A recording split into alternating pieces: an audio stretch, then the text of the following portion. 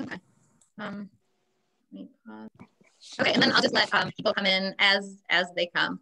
Um, so welcome everyone. Uh, my name is Jessica Gasbarre. I am in charge of our detour program at Memorial Gallery. Um, and essentially what a detour is, is it's a quirky themed tour where we pair works of art with things that aren't always directly related to works of art. Um, so last week we did a detour where we talked about fashion and we looked at um, you know, garments in paintings and then compared them to what people are wearing today and how that's changed. Um, we've done Harry Potter in art, Game of Thrones in art.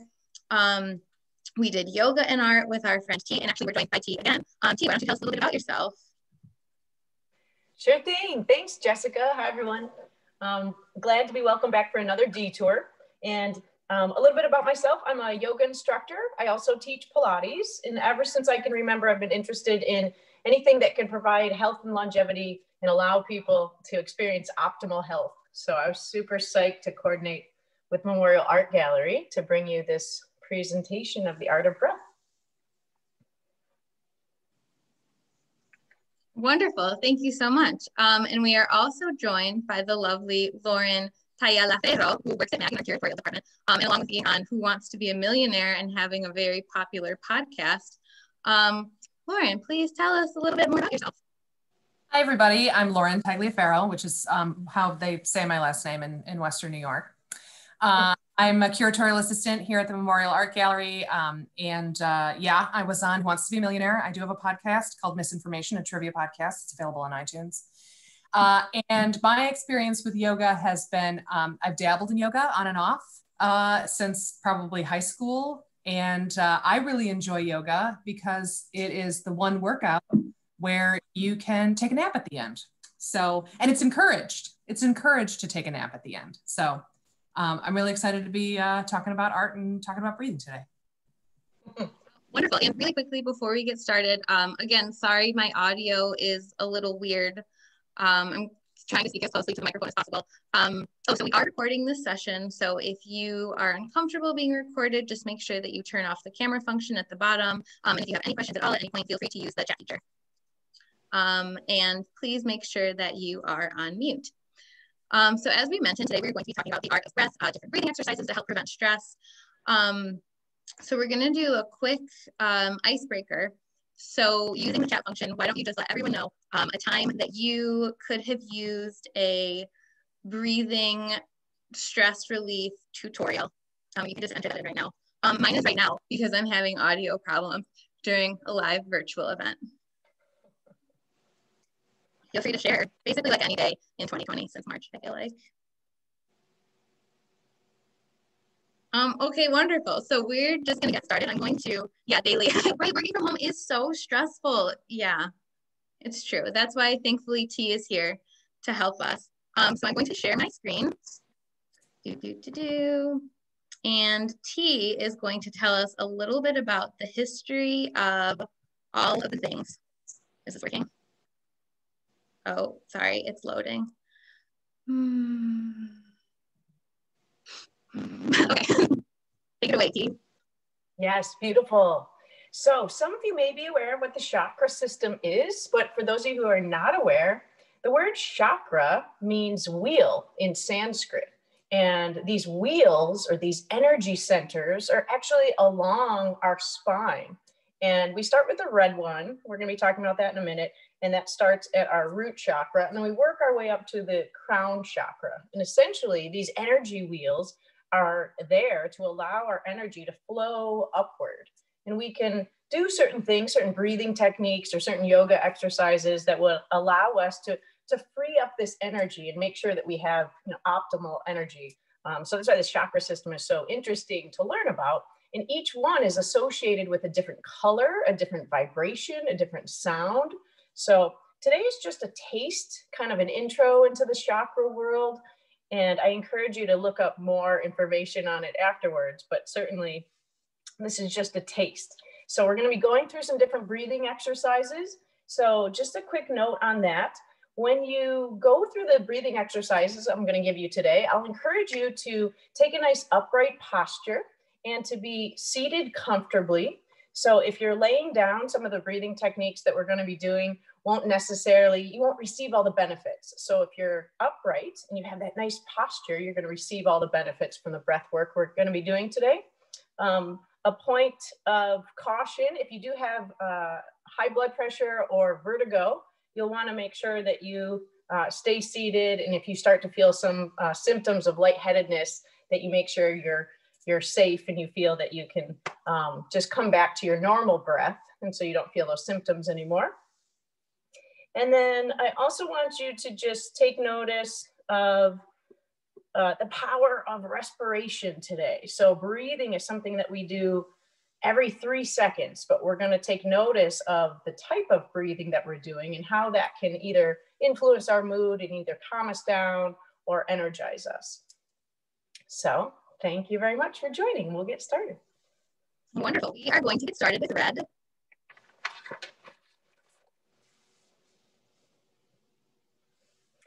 So our red piece of artwork, the red root chakra is associated with the earth element.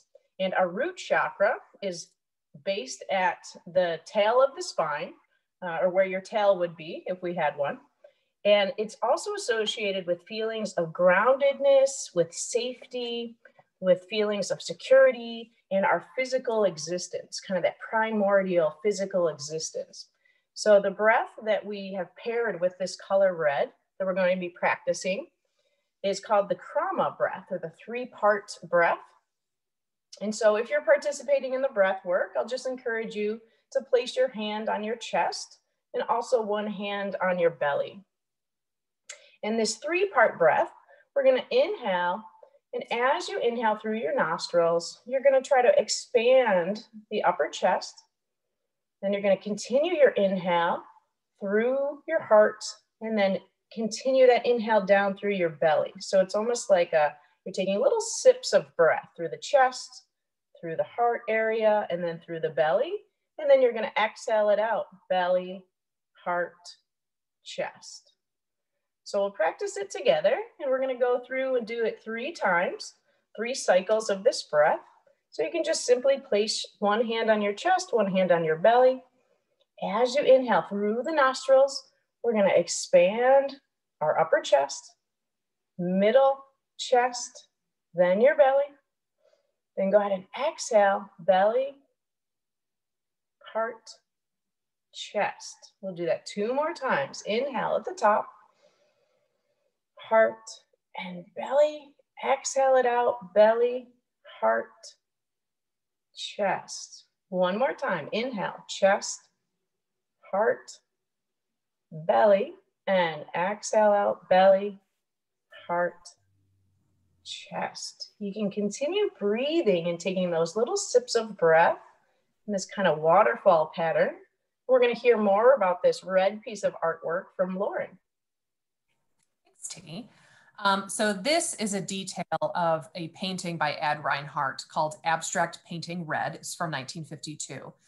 And Ad Reinhardt took kind of a philosophical point of view when it came to making fine art. And um, one of the things that he really focused on was this use of color. So uh, as you can see in this detail, it's not just a solid piece of red artwork. There are different layers of red, there are different um, shades of red. And so this was supposed to be a kind of immersive artwork that you could really kind of enter the space and be surrounded by this color. Um, and one of Reinhardt's philosophies basically was that art is art and life is life. And art can't teach you about anything other than just art. Its purity and its um, evocativeness is in and of itself. And so you shouldn't compare it to anything else um, art can't teach you about life, but art can teach you about itself. And this piece is one of our favorites. It's really, really beautiful, especially seeing it up close. You see all of these very thin, very rich tones of red as you get closer to the painting. Um, one of my favorite things about this work of art is that every time I'm at MAG giving a tour, someone always says, like, why is this in a museum? I, I could have done this. Um, and it's true, you could have done this, but you didn't. Exactly. So that's what's important to remember. This was like a totally new way of thinking about art and color. Um, it's not one of my favorites, but um, you know, I get it. It's cool because from far away, it looks like it's just one giant rectangle of red. And then as you get closer, you see that it's actually like several different colors. Um, so that's kind of fun. Mm -hmm. Yeah. Moving on to orange. Okay, orange. The color orange brings us up to our second chakra. This chakra is located uh, just below the navel, halfway between the pubic bone and the navel, so in that region. And the color orange in our second chakra is associated with the water element. And this one is associated, associated also with feelings of emotion, our connection to others, our creativity, and our passion. So the breath that we paired with this one is called uh, Nadi Shodhana. And nadis are energy channels in our body that help activate our chakras. And what it is, is an alternate nostril breathing. Um, so we're actually going to plug one nostril and then open another nostril while we breathe in and out. So if everyone, if you're participating in this breath, you can make this little hang loose symbol. And this hang loose symbol, I've got a thumb out and a pinky out. And first off, you'll just want to make sure that maybe if you have a Kleenex, you can kind of clean out your nose to start to start with. And then you're going to take a nice inhale in, a nice exhale out. And then with your thumb, you're going to take a nice inhale in. Then you're going to plug your right nostril. Then you're going to exhale that breath out through the left nostril. Then you're going to inhale through the left nostril. Plug the left nostril. Exhale from the right nostril. We're going to do that again. Two more cycles. Inhale the right nostril. You're going to plug the right nostril. Exhale through the left. And then send it back. Inhale left. Plug that left nostril. Exhale right. One more cycle. Inhale right. Plug the right. Exhale left. And send it back. Inhale left. Plug the left. Exhale right. Just let your hands return to your lap. Let the breath return to normal we did three full cycles. Usually this is performed in either three, five, or seven cycles at a time. And you may find that if one of your nostrils was perhaps clogged before doing that little exercise, that maybe it's been freed up. And that's a testament to how you're freeing up this space internally to provide that nice flow of energy. So we're gonna hear a little bit more about this color orange and feel free to do one more set or cycle of three.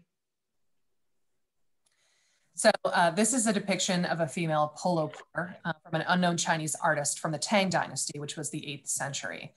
Um, this I really like this piece because the uh, the horse is kind of chubby. Uh, he's got a big belly, and uh, I think it's just very very cute. But um, this depiction of a woman on the back of a horse uh, indicates how women enjoyed many more freedoms in the Tang Dynasty, participate in sports and ride horses and ride astride, like both legs across the horse um, wearing Western style clothing with a fitted jacket. Um, among the Tang elite must have played polo on a regular basis. And so they were depicted not only in ceramic sculptures like this one, but also on bronze mirrors of the period. Um, and you can know, you can see in these bronze mirrors that they have these long hooked polo sticks. And that's how you can indicate that they were female polo players. Um, the color of this is terracotta. It's a terracotta vessel. Um, terracotta, the material was often used in China and throughout Asia for sculptures, vessels, and pottery. And um, terracotta is made from clay and it gets its color from the iron content, which reacts with oxygen during the firing process. Um, Lauren, I had a question about the pants. So I know uh, the Tang Dynasty was really advanced in their art, and obviously, you know, women were allowed to ride a horse normally instead of riding with their like side saddle. Mm-hmm. Um, so did they have like special pants for women, women wearing men's pants, and also like were pants restricted to polo playing? Um, women would have had their own clothing. So um, especially elite wouldn't have borrowed any clothes from you know their fathers or husbands or brothers or whatever. Um, they would have had their own clothing and they would have had it um, decorated in a, in a particular style. Uh, color and embroidery and beading was very uh, hierarchical at this time. So depending on her status, her clothing would have reflected that. Um, in terms of uh, if they wore it other than, I think they only wore these pants when riding horses. I think this was specific, like jodhpurs, like it would be specific to riding. They wouldn't be just like wearing it around town kind of thing. So um, yeah, I think it was a specifically horse riding equestrian style clothing. Yeah. That makes sense. Thank you so much. I also love the horse because yeah. I feel like you don't really see a lot of um, you know, salubrious maybe horses in works of art. Usually the horses that you see in works of art are always like purebred and like tip top shape. Yeah. I like um, how chubby he is. I also love like this is a very Chinese sculpture kind of quality, but um, that arc in the neck is just beautiful. It's just my big fan. Yeah. Um, okay, moving on to yellow. Okay, this beautiful golden yellow brings us to our third chakra. So the third chakra can be found, can be found at the solar plexus behind the navel. So this chakra is associated with the fire element, and it's also associated with traits of your will, your power, your confidence. So the saying, when someone says, I can feel it in my gut, uh, this is the chakra that's associated with that, that feeling, that feeling of confidence, that feeling of willpower. So the breath that we're going to pair with this, since it is the fire element and it's what boosts our confidence, is something called the Kapalabhati breath or the breath of fire.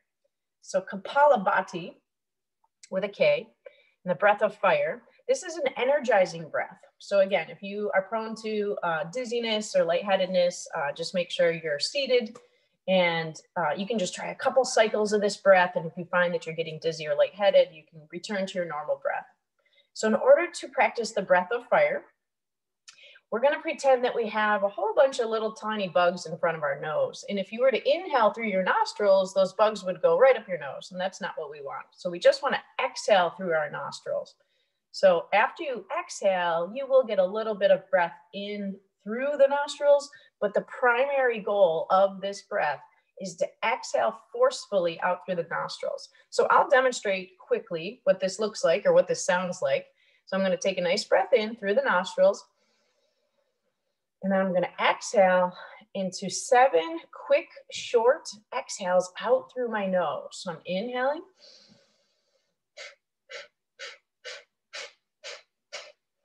So it's a very quick exhale through the nose. And we do cycles of seven. And we're gonna do three cycles of seven. So it's gonna be an inhale and then exhale forcefully seven times, then an inhale, exhale forcefully seven times, and then we'll do that one last time for the third round. Uh, you may find that as you're exhaling forcefully, you can feel your navel coming in towards your spine. So you the diaphragm here acts like a bellows and it forces the breath in and out. So it actually helps you force it in and out. So you may feel this little kind of firing up behind the navel. So that's kind of a natural thing that occurs when we do the breath of fire. Okay, so when you're ready, you're gonna inhale through the nostrils, keep the lips closed the whole time. Exhale seven times through the nostrils quickly. Inhale. Exhale again seven times.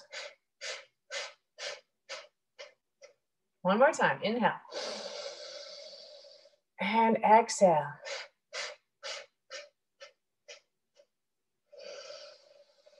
Let the breath return to normal. And we're going to hear more about this beautiful color yellow from Lauren. Uh, this piece is called Fishing Well by Sam Gilliam, friend of the gallery. Uh, this piece is from 1997. And uh, it's interesting that Tee you mentioned about how the color yellow is associated with confidence and particularly someone who maybe doesn't always go along with everybody else and has a strong will. So Sam Gilliam definitely has a very strong will. Um, he his artwork is known for its fundamental disregard for the boundaries that have traditionally separated painting, sculpture, and architecture. So it's all these things kind of mixed up into one, and he plays with this on a regular basis in his artwork. Um, he lives in Washington, D.C., and he has been a major artist uh, since 1968. And uh, around that time was when he stopped using wooden stretchers to support his paintings. Um, so he he started to just paint directly onto the canvas and hang it like drapery um, in a gallery or in his space. Um, and we actually have a couple of his drapery paintings in our uh, collection. But he um, creates work that is in a variety of styles that has been going in and out of different phases since the 60s. Um, but in this particular instance, in the early 90s, he adopted birch plywood as a support surface. So birch plywood, if you've ever seen it, is very pale. It has a very um, pale, like light gray, white color to it. And um, in this way, he pours paint onto these pieces of plywood that he builds up from the surface. So in that way, he's kind of playing with architecture of wood um, and its, its relief properties. So the surface of this piece, Fishing Well, is poured acrylic paint. And so there's this um, suggestion of depth from the colors. He, he pours different colors of acrylic paint with different um, textures in it. And so you really feel the way that he pushes and pulls this paint across the surface to give a sense of, of texture, maybe some images kind of derive from that and the suggestion of depth. Um, it's a very cool piece and it has kind of a glossy surface as well. That's really interesting about Sam Gilliam's uh, plywood pieces, but um, yeah, it has a, a soothing quality to it considering that it's so predominantly yellow. Um, Lauren, have you touched this piece? I have touched this piece because I'm allowed to touch this piece. Can you tell us what it feels like? Um, it's cool. It's smooth. Hmm. And um, it's uh, has like a plasticky quality to it. Now, as someone who works in curatorial, I'm going to tell you, and I'm going to tell all of our listeners right now here today, that you are not allowed to touch the artwork. only, only professionals are allowed to touch the artwork. In fact, um, our uh, our collections manager, our registrar, uh, Courtney, might be a little mad at me that I actually touched it without a glove on. tell her, shh, you know, we're friend, all friends here. Shh, don't tell. I'll delete it from the recording. Okay, um, you. can, can you tell us how large the piece is? Is this like 10 inches or three feet? Uh, this piece is about, I would say, mm, five or six feet high by about four feet wide. Um, and uh, it has this this like um, that more yellow with the red in it. That piece that you see to the right um, is actually um, built up onto it, so it's kind of a three. It's almost a three dimensional quality to the to the piece as well. Great, Please. thank you. You're welcome. Yeah, great question, Nancy. Um, yeah, one thing I love about Sam Gilliam is how Lauren, as you said, he like pushes the limits on what a painting is. Mm-hmm, um, mm-hmm. So we have a couple of works by Sam Gilliam in our collection. One of my favorites is he has two of these draped pieces of fabric. Um, and last year for Halloween, one of my girlfriends wanted to dress up as one of his draped works of fabric. And she thought like, oh, I'll just grab some linen and I'll just paint it and it'll be really easy. It'll look just like a Sam Gilliam piece. Um, and mm-hmm. we learned very quickly that there is more to his art than just like randomly splashing paint around. Um, exactly. Um, also, also, our registrar, the lovely Courtney DiMartino, who's not here, let me touch the draped fabric piece. Oh, yeah, it was like my favorite day at work because I really like touching things and working at an art museum. Um, you can't. And it was really interesting because when you see the piece, it looks like silk. I feel like it mm-hmm. hangs like silk, so yes. I was expecting it to have like a really soft, supple, delicate feel that I would have wanted to like rub against my face, which I obviously didn't. Um, but instead it felt like a piece of like used dryer sheet. It was like it was rough. It was weird. Yeah, it's um it's a, a polyethylene fabric that he uses. It's, it's so that the the paint absorbs quickly into it. It's kind of like Tyvek. It's uh it's soft but also has like a stiffness it's not yeah it's not um, pleasant to touch no i didn't want to rub my face not that i would rub my face in a work of art but anyway we're just going to move along to the next piece before we get fired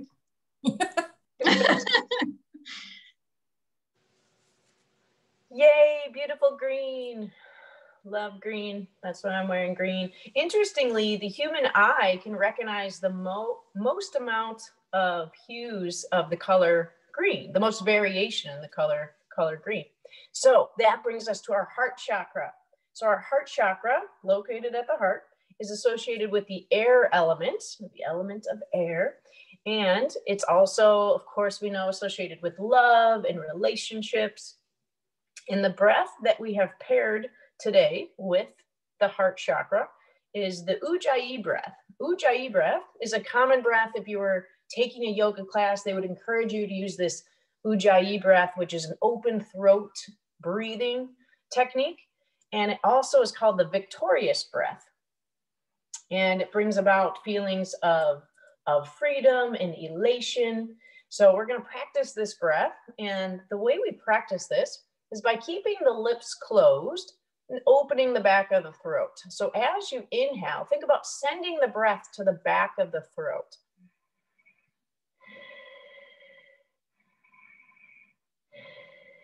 And if you're having trouble opening the back of your throat, think about the sound that you might kind of fog a mirror. So if you were to put your hand in front of your face and pretend that's a mirror, and then you make the ha, ha, ha sound, and then close your lips and take an inhale, you still want to create that same feeling, that openness in the back of the throat. As you breathe in and out with this open throat, it's quite audible. It either sounds like a hair dryer or it sounds like, uh, I've been told, the Darth Vader breath. So for all our Star Wars fans out there, this one's for you, the Darth Vader breath. So we're gonna close our lips. We're gonna breathe in and out again for three cycles. So a nice deep inhale, opening the back of the throat, and then a nice full exhale. Again, out through the nostrils and in through the nostrils. And if at any time you feel like you can't get a full breath in, then you can go ahead and open the mouth. So when you're ready, lips are closed, opening the back of the throat as you inhale and send that back behind. And again, inhaling. Kind of sounds like we're snoring. One more, inhale.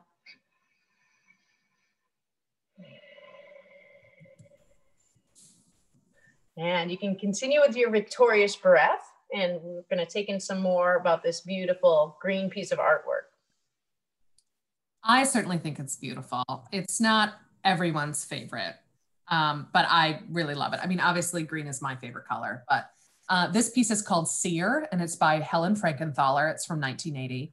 Um, Helen Frankenthaler actually died fairly recently. She died in 2011, and she was a major American painter and she had a very long career throughout the 20th century and she experimented with um, new techniques that included pouring oil paint thinned with turpentine directly onto these large pieces of unprimed canvas and so that allowed the paint to kind of saturate the cloth and it created these loose and fluid fields of color and you'll be reminded of uh, the sam gilliam piece from before that it's this idea of pouring paint onto the canvas and emphasis on color so this particular emphasis on color is something that the second generation of abstract artists um, called the color field. So they were known as color field painters.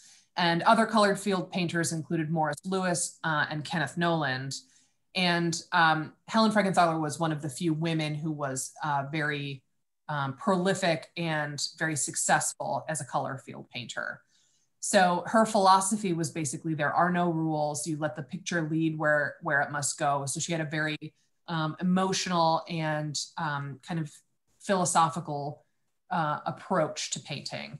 Um, this is not everyone's favorite. Um, it has been, um, don't know, derided in the past from local art historians who shall remain nameless, but I really like it, although someone did say that it reminded them a lot of the city garbage cans color, the exact hue of a city garbage can. So, which um, is really fascinating, Lauren, because yeah. um, when I put this into PowerPoint, you know, like Google has that identifier when you hover over an image, and the yeah. Google identifier was literally trash can. So, so, so even Google is is about this piece. I don't know. I like it. I think it's thing. I think it it deserves love just as much as everything else. Um, Lauren, walk us through. So, abstract expressionism came about um, kind of like in reaction to World War II. Like at the end of World War II, the world was in shambles, and people mm-hmm. were looking to the art world for something new and fun and different. And that's kind of how abstract expressionism came to be. But how did it, like, was it popular when it first started? How, because how do you go from you know, painters like Bouguereau who are like hyper realistic mm-hmm. um, to works of art that Google deems trash? you know, like, what was the reaction? Yeah, that's a good question. So, I mean, um, these these artists, these post-war artists, um, were definitely uh, all about rejecting figural, figurative art. Right? This was their grandparents' art. They didn't want to do that anymore. The war had changed them deeply, and they wanted to strike out on their own and create artwork that was that really embraced the emotion and philosophy of art and what an artist can do with paint and a canvas to express themselves. Um, this, you know, much like anything, people hate change, uh, and the art world especially. Oh my goodness. So, like abstract expressionism post-war, people hated it. I could do that. My, you know, my three-year-old could do it. That kind of thing. Um, but nevertheless, it really made a huge impact, and so we see that even today. Abstract expressionism is a legitimate and very wide-ranging form of artwork right now and so it's this idea of like kinetic expression right you're you're trying to express movement and um, and kind of like your inner turmoil or joy or calm or whatever through color and shape as opposed to um, direct expressions of like human figures um, i mean it's it's beautiful it's a new way of artwork right like if we were just doing to continue to keep like drawing people on and on and on it gets boring after a while, right? Like it's, you know, variety is the spice of life. So I I'm a big fan of of abstract expressionism just as much as figurative art, you know. I love all my children. thanks, Lauren. Um, and thanks Tee, for the Darth Vader breath. It's nice. I feel like that's the breath I use when I'm irritated with my husband. So it's nice to know that I'm like calming myself while, um, you know, passive aggressively cursing his name. Moving along to blue. All right, blue, beautiful blue brings us up to our throat chakra. So this is found at the base of the throat. The fifth chakra, the throat chakra, is associated with the space element. It's also associated with self-expression and communication. So the breath that we're going to use to coincide with this chakra is called the Shitali breath. And Shitali breath, Shitali is a snake in Sanskrit, like an Indian snake. And the type of uh, breath that we're going to use for this one is a mouth breathing technique. We're actually going to stick, stick our tongue out and curl our tongue around. So curl the edges of the tongue. Now I realize probably half of the folks joining us will be able to do that and half will not be able to do that. So you can blame genetics. It's fine. If you can't curl your tongue, you can just simply uh, make a circle with your lips like you're about to sip out of a straw, and that will bring about the same effect. So by cooling, I mean that this breath, it's, um, it's not energizing like our breath of fire, it's cooling and it actually cools the frontal lobe of our brains. And cooling the frontal lobe of our brains can help uh, calm us down and take out uh, feelings of aggression. Um, so you can practice by sticking your tongue out and curling it or make that circular uh, position with your lips like you're about to sip out of a straw. And both the inhalation and the exhalation is performed that way. So again, we're gonna do three cycles, uh, three full breaths. So I'll make that position with my tongue now and you can join me or just make that other position with your mouth. So Take a nice inhale first through the nostrils, then you're gonna exhale it out through the tongue.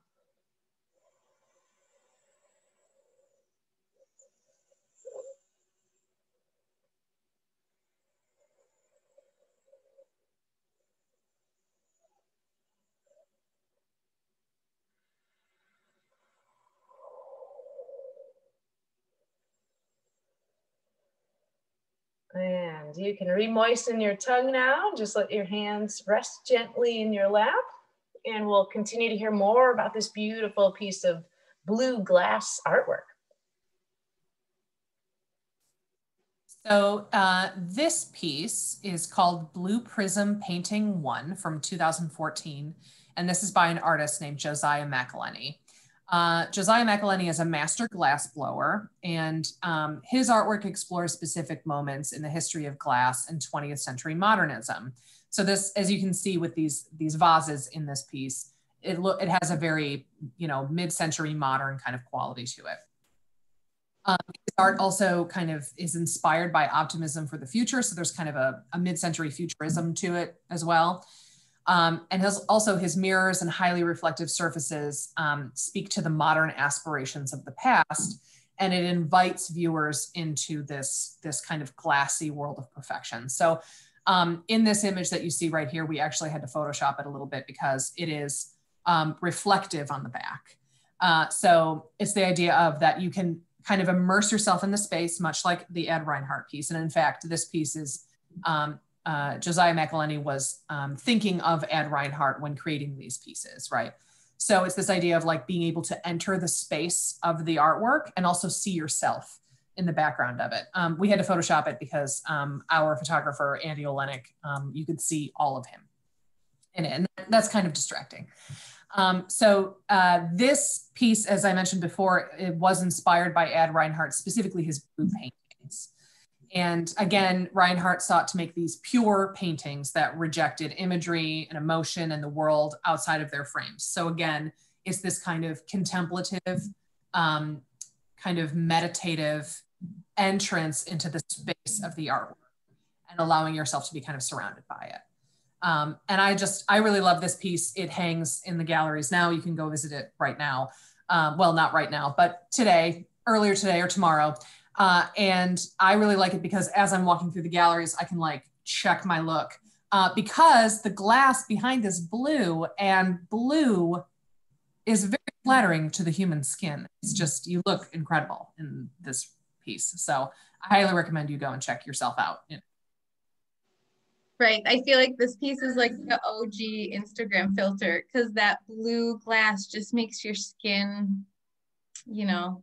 It look it's so it like it's very evening, like blue and pink light as well. Pink light is also something that makes you look just like glowy and perfect and beautiful. Yeah, it's great. Um, I just have to quickly say that if you did want to go check this piece out, the museum is open until 9 p.m. tonight. So oh. after, so after the detour, you yeah, thank you. Yes, hop on over. Um, yes. so one thing, so this I really like blue, and I like how um this piece reminds me of like a a sale at Target, like which vase is the vase for you? Because there's so many different options. Um, but Tee, I was wondering so I was doing some research on color psychology and blue is really calming, it's peaceful, it's also the best for creativity and productivity. And I feel like that last breath that we took, um, to me, it felt like the most tranquil breath that we've taken so far. And I just wonder if you know, like, was the chakra color chart created after the breath? Like, what inspired what? Because I feel like you know, yellow is like an energetic color. And I feel like that breath was really energetic. So like how how did that come to be? Yeah, so the chakras came first, or the chakras already, you know, exist in our bodies or exist uh, as an energy channel. And the breath, there's so there's so many breath, uh, different types of breath that we can take. And in uh, the yoga world, it's called pranayama. So prana uh, meaning uh, life force or life force breath, life force energy. So there's various breaths that we can use for either calming or grounding or balancing. So that happened to be the one that I chose to pair with this. So, so I think your chicken and egg question, the chakras came first. The breath is somewhat it came after. Um, thanks so much, Tee. And then, sorry, I just have another question that just came to me.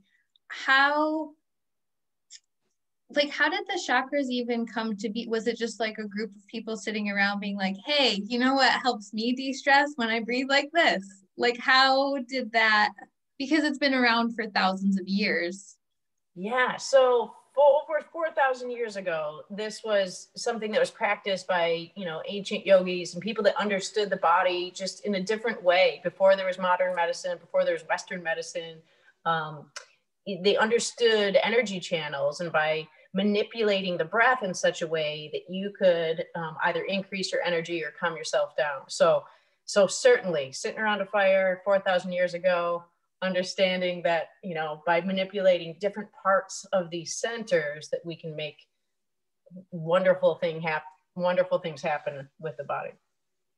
Thanks so much. That's, I just can't imagine being like, wait, no, you have to blow out slowly seven times, not three times. it was, this has been a fun conversation. Um, okay, moving along to the next color, purple. Yes, so purple brings us to our brow chakra. So between the eyebrows, just a little higher on the forehead, uh, this is considered our sixth chakra. It's known as the seer, the, and it also encompasses all of the elements. So we've got earth, we've got water, fire, air, space. It encompasses all of these elements. And it's tied into our intuition. You may have heard that area referred to as the third eye. It's tied into our intuition and our ability to see things, but not with our physical eyes, but see things internally. So the breath that we're going to perform pairing with our brow chakra is the Bhramari breath. So Bhramari is another calming breath. Bhramari with a B happens to be named after an Indian bee, like a bumblebee, and it's got a buzzing sound associated with it. So I'll demonstrate it and then we can perform it together. Um, if you are seated and you're able to pull your knees up around you, it's very comfortable and convenient to rest your elbows on your knees. It's okay if you're not uh, able to pull your knees up, but it's just a nice convenience to set your elbows right on your knees because we will be applying our hands to our face. So this one is kind of a internal awareness. It's um, sensory deprivation, if you will. So we don't want to see with this one. We want to cover our eyes. We're also going to take our thumbs and actually plug our ears. So don't do it yet, but we're going to take a nice inhale through the nostrils. And then as we exhale, we're going to make a humming sound. And by humming, it creates this internal phonics. So this internal vibration that we can feel from the inside out. It also makes an auditory uh, sound, but we're concerned with the internal vibration that it creates. So I'll demonstrate one and then we'll do uh, three together. So I'm gonna take an inhale through my nostrils, cover my eyes and ears, and then let it out with an exhale as I hum. So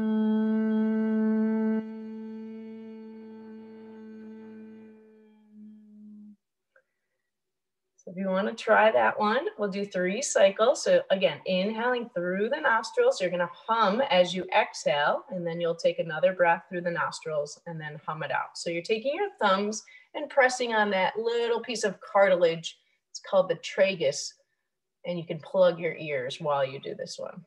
So inhale, exhale it out with a hum. Hmm.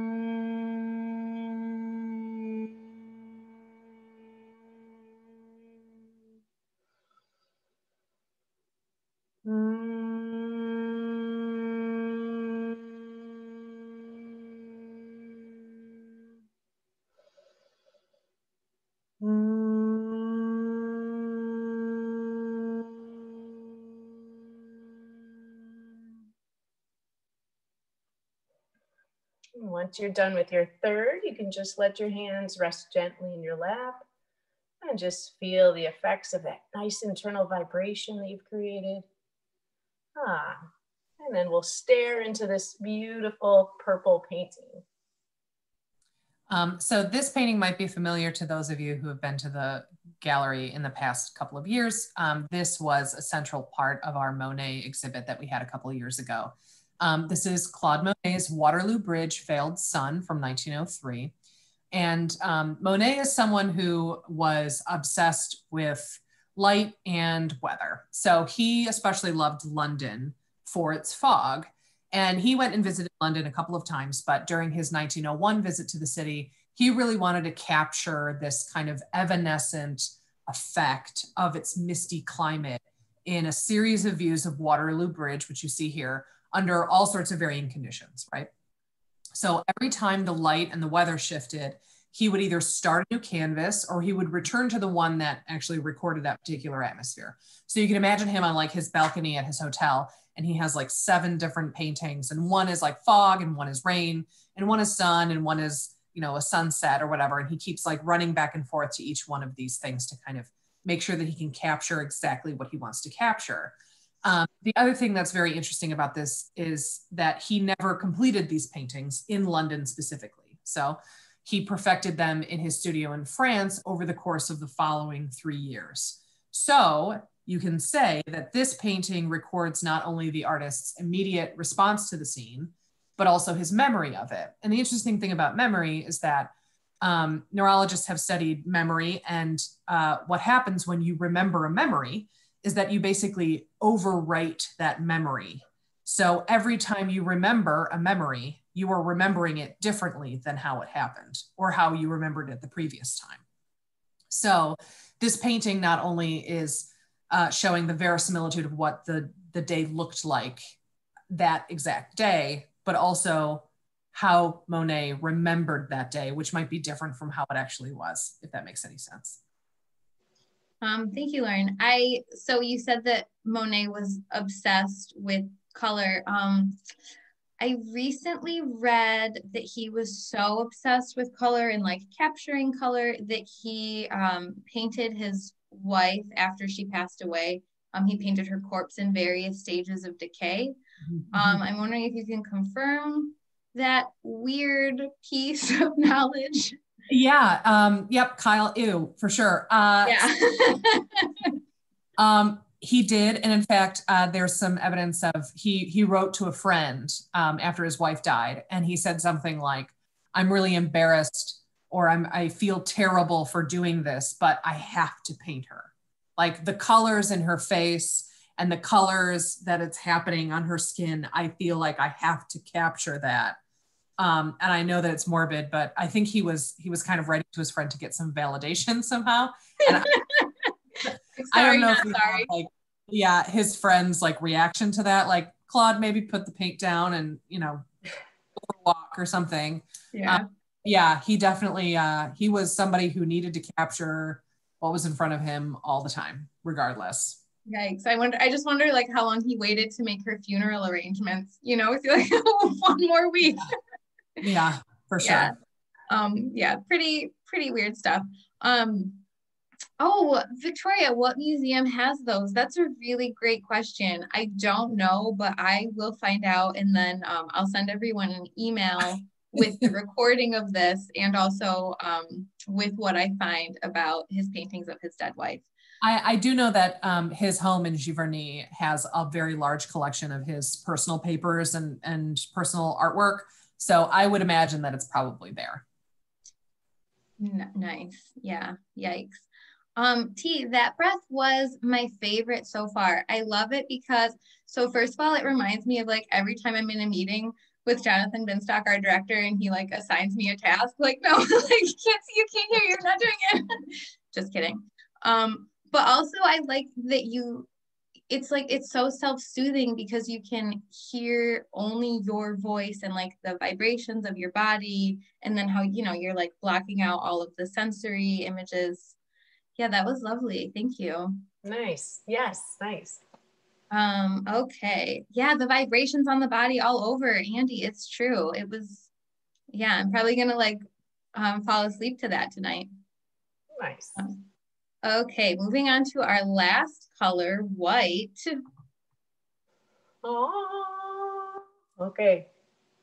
White can be seen in our chakra system just above the crown of the head. It's considered the crown chakra, but just above the crown of the head.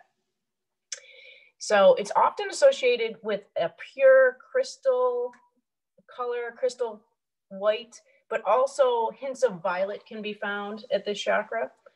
Uh, this one is associated with our connection to the divine and our true nature and where that resides.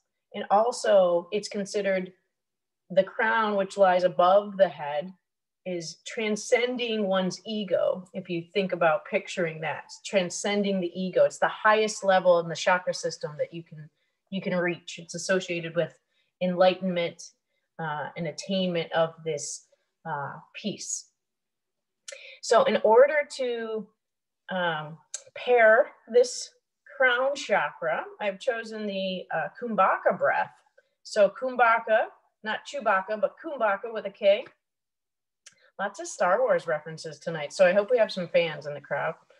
Uh, so the Chewbacca breath, what this breath is, is it's about breath retention. So it's about holding the breath.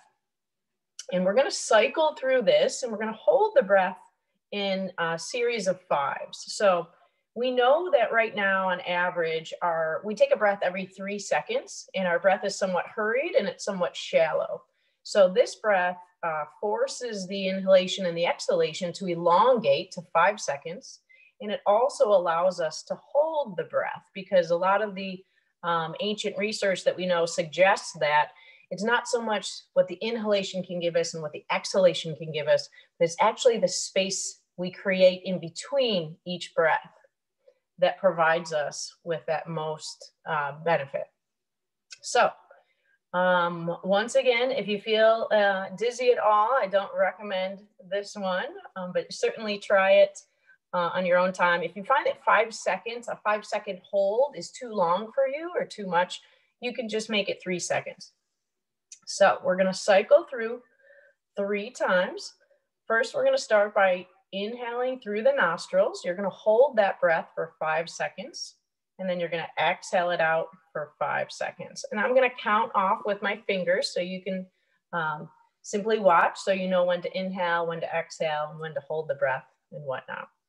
So we're gonna inhale to a count of five, hold the breath for a count of five, exhale to a count of five, do that a total of three times.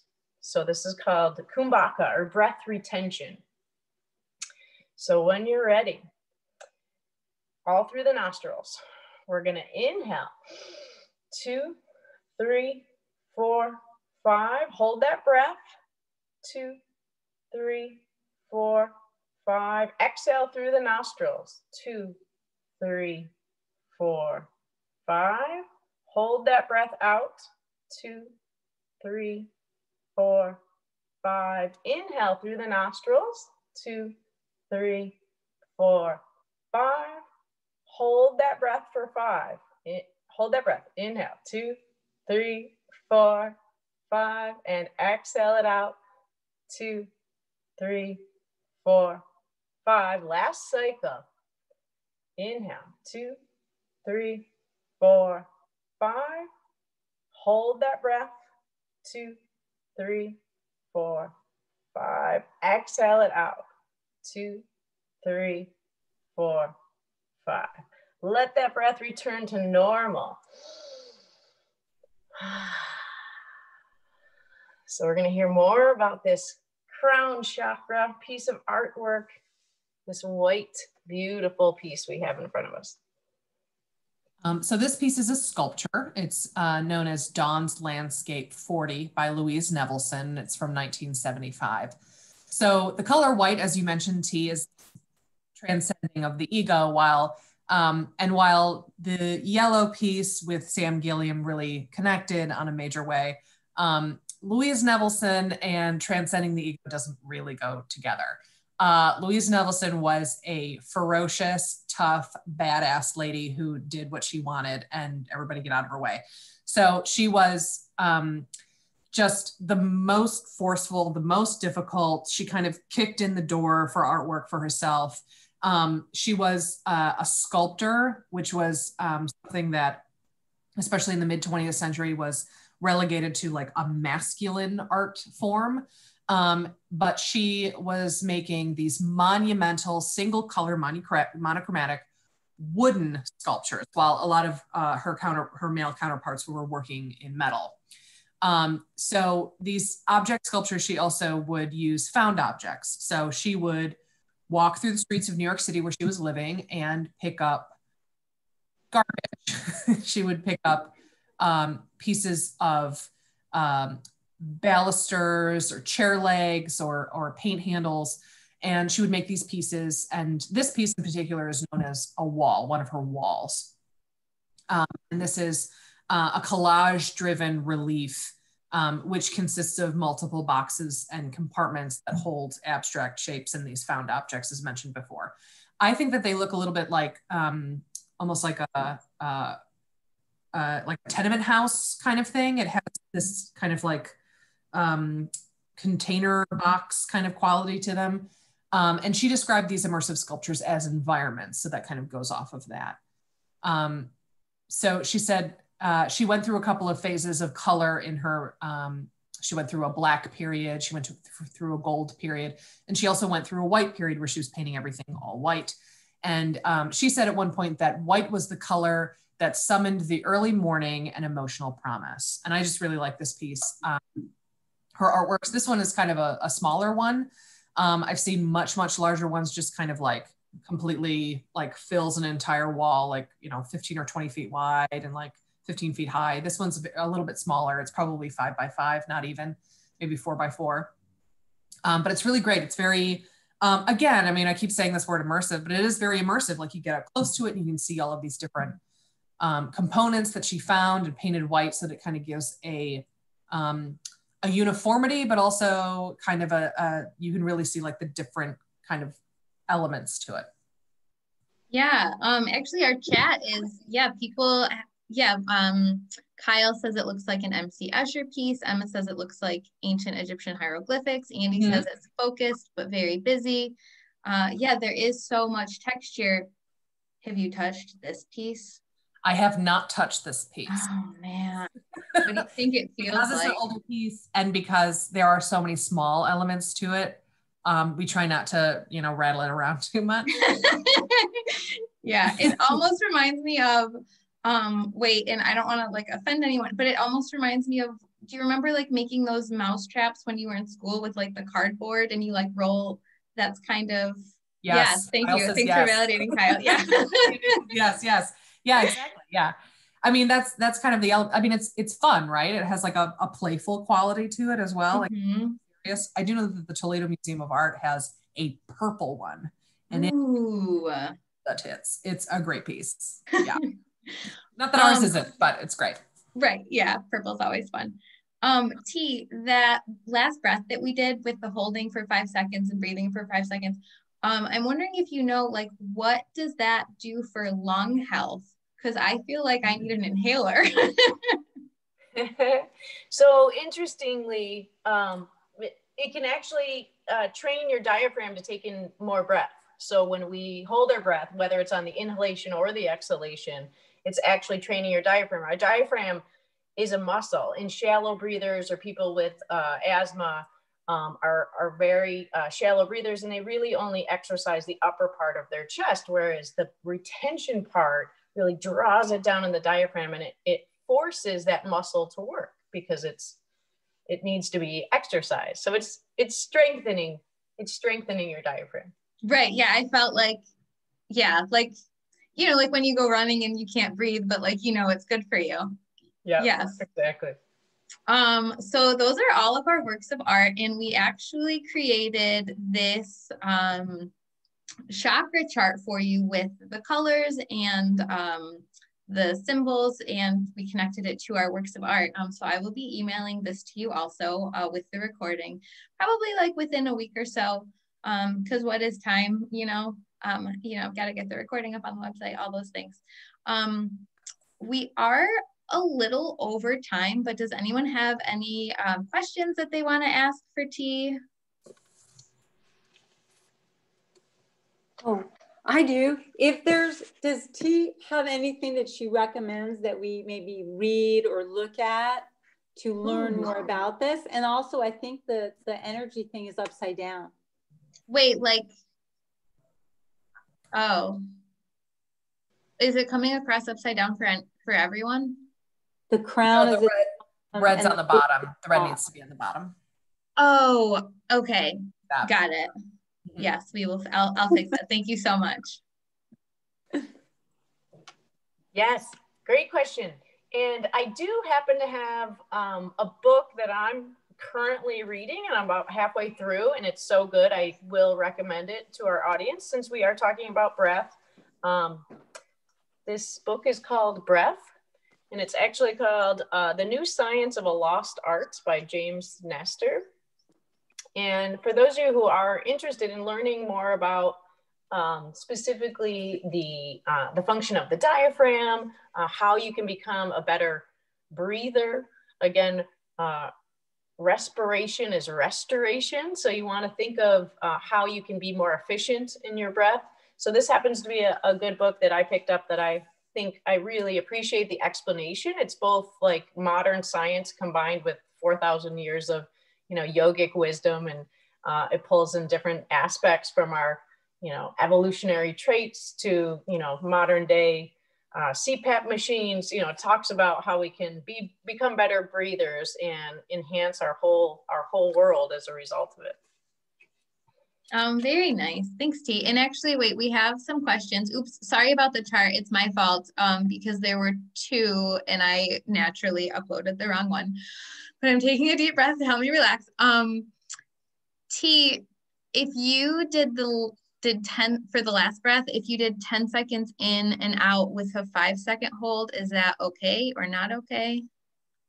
Yeah, so the longer that you're able to use that muscle, the longer that you're able to uh, either on the inhalation or exhalation, the more space that you're creating. So um, yogis have been known to perform that uh, breath for up to 30 seconds. So you're always strengthening that muscle. Like I said, if on average, just our natural breath is every three seconds, anything longer than that, you're creating more space and more strength in your diaphragm than you would have if you didn't if you didn't perform that hold. So as long as you're not getting lightheaded and you don't have pre-existing conditions, of course, uh, certainly anything that you can do to to to force that um, inhalation and exhalation. And it should be fairly smooth. So just because you can hold your breath for that long or you can inhale or exhale for that long, um, try to make your transitions as smooth as possible. So it's not like a like a choppy like a choppy kind of jump start to your system. It really should, one should flow into the next. And then that, that really speaks to how much control you have through the chest and through the diaphragm. If you can flow seamlessly and effortlessly from one hold to the inhalation and the exhalation. So good. Yes. Practice, practice, practice. Wonderful. Well, thank you so much, Tee. Thank you so much, Lauren. Um, and thank you to everyone who came, all of the wonderful conversations and the great questions. Um, like I said, I'll email you within a week or so um, with the recording of the detour, James Nestor's book, Breathe, Breath, Breathe, or Breath. Breath. Breath. breath. Um, and some other resources for you. Uh, so thanks everyone. Thanks for coming. Enjoy your Thursday night. The museum is open for two more hours if you're around there. okay, enjoy your night. Bye. Thank you, Jessica. Bye. Thank, Thank you all. Thank you.